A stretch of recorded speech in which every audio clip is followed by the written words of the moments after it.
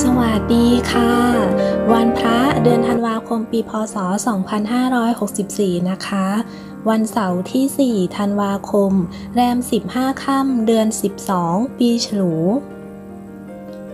วันอาทิตย์ที่ 12 ธันวาคม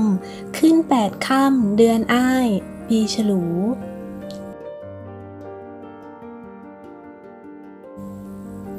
วันอาทิตย์ที่ 19 ธันวาคม ขึ้น 15ค่ำเดือนอ้าย ปีฉลู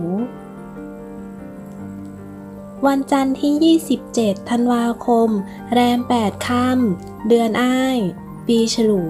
ค่ะ ในการทำบุญนั้น สิ่งของที่จะถวายพระจะต้องได้มาด้วยวิธีที่สุจริตไม่เบียดเบียนผู้อื่นให้เดือดร้อน และที่สำคัญคือสิ่งของนั้น ต้องเหมาะสมแก่พระพิสุกและสามเณรด้วยค่ะสำหรับคลิปนี้ก็ขอบคุณเพื่อนๆที่เข้ามาติดตามนะคะ สวัสดีค่ะ